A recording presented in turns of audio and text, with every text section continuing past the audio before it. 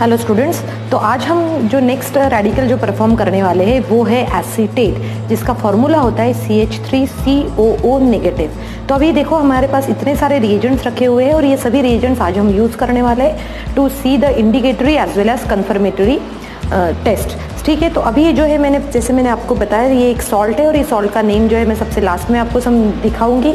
और ये देखो, ये मैंने इसी पैकेट में से एक सॉल्ट निकाला है। अब अगर हमें ये फाइंड आउट करना है कि इसमें जो इसे जो है सॉल्ट निकाला है, क्या इसमें एसिटेट आयन है या फिर नहीं है?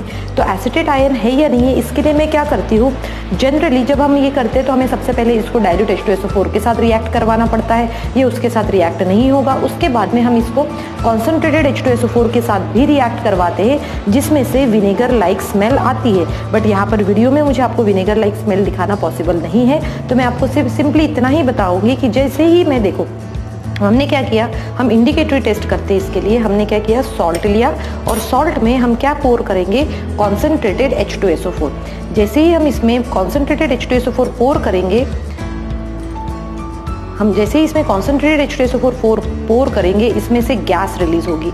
And that gas and the smell of that gas would be the smell of that gas is like a vinegar okay see I am pouring this वैसे तो अगर आप देखोगे तो रिएक्शन आपको कुछ भी नहीं दिखेगा, ठीक है? इसमें देखो, यही होता है कि जब आप इसमें H two S O four pour कर रहे हो, उसके बाद में रिएक्शन इसमें कुछ भी नहीं दिखता है तो हम बहुत बार कंफ्यूज हो जाते हैं कि क्या ये इसमें एसिटेट है या नहीं है। तो इसके लिए क्या है, एक ट्रिक होती है हमेशा।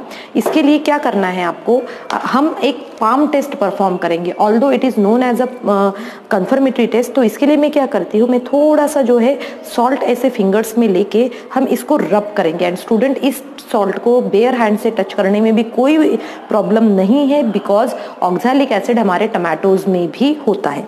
ओके okay, सो so हमने टच करके देखा then we will smell it if it it will smell like a vinegar then definitely हम uh, ट्राई करेंगे कि उसके कन्फर्मेटरी टेस्ट जो है, वो हम कर सके। तो कन्फर्मेटरी टेस्ट के लिए क्या करना है? सबसे पहले एक पाम टेस्ट होता है। पाम टेस्ट में हम क्या करते हैं?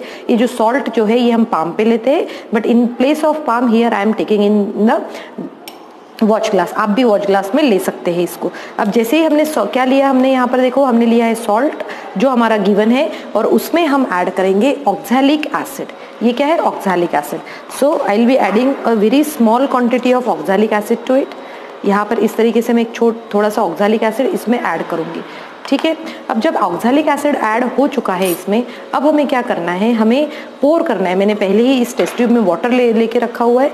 So I will be pouring one और two drops of water one और two drops of water in this way मुझे सिर्फ़ यहाँ पर पेस्ट बनाना है कोई भी सोल्यूशन नहीं बनाना है। सो so, इस तरीके से ये पोर करने के बाद हमने क्या क्या मिक्स किया है? सॉल्ट प्लस ऑक्जालिक एसिड जब आप ये सॉल्ट प्लस ऑक्जालिक एसिड को इस तरीके से मिक्स करते हैं एंड जब आप इसको मिक्स करने के बाद में आप देखोगे तो it will smell like a vinegar इसकी स्मेल जो है विनेगर हमारे घर पे जो सिरका होता है, जो चाउमीन में विनेगर यूज़ होता है, उसके ही जैसे इसका भी स्ट्रॉन्ग स्मेल आना स्टार्ट हो जाएगा, और यही कन्फर्म करता है प्रेजेंस ऑफ़ एसिटेट आयंस तो ये हो गया है हमारा पाम टेस्ट अब देखो पाम टेस्ट के अलावा और कौन सा टेस्ट जो है, वो हम, जो हम परफॉर्म करके देख सकते हैं। तो एक और टेस्ट होता है तो इसके लिए हम क्या करेंगे, एक टेस्ट ट्यूब लेंगे। इस टेस्ट ट्यूब में सॉल्ट ऐड करेंगे and then in that we will be adding water in that we will be adding water to it okay and making a aqueous solution तो देखो, मैंने यहाँ पर एक इसका एक्वस सोल्यूशन में इस तरीके से शेक करके प्रॉपरली देखो, हमेशा सॉल्ट जो है, वो एक्वस सोल्यूशन में प्रॉपरली डिजोल्व होना चाहिए और आपके सिलेबस में पूरे प्रॉपरली डिजोल्व सॉल्ट ही दिए हुए हैं। अब क्या करना है आपको कि ये अपने सॉल्ट ले लिया, अब इसमें हम पोर करेंगे न्यूट्रल एफ़ बेटा, यहाँ पर आप देख सकते हो, मैंने सिर्फ़ एफ़ लिखा हुआ है एफ़ क्या होता है एक्चुअल में? लुविस एसिड होता है। और लुविस एसिड को हम क्या करते हैं? उसको N H four O H add करके हम बनाते हैं, उसको न्यूट्रल एफ़ थ्री तो जैसे ही मैं इसमें न्यूट्रल एफ़ थ्री ऐड करती हूँ इट शुड टर्न रेड इसमें रेड कलर आना चाहिए। अगर रेड कलर आता है तो हम कहेंगे कि yes acetate ions are confirmed हम कहेंगे acetate ions are confirmed so आप देख सकते हो, देखो आया रेड कलर आया।